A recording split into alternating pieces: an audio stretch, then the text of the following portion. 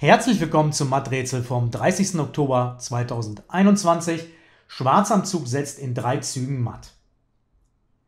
Wir beginnen hier mit Dame F4 Schach und verhindern, dass der König über die G-Linie wegläuft. Der König muss nach H5 und hier müssen wir erstmal Dame schlicht F5 Schach geben, den Bauern wegnehmen. König H4 wieder. Zurück nach F4, sonst läuft der König weg. König H5 und jetzt können wir mit G6 Mate. den, schwarz, den weißen König Schachmatt setzen. Einen anderen Weg gab es nicht. Also Dame H6 Schach hier bringt nichts, dann läuft der König weg. Ne? Ihr müsst aufpassen, dass der König nicht wegläuft über die G-Linie. Ich hoffe, die meisten von euch haben es gefunden und äh, dass wir uns hier morgen wiedersehen.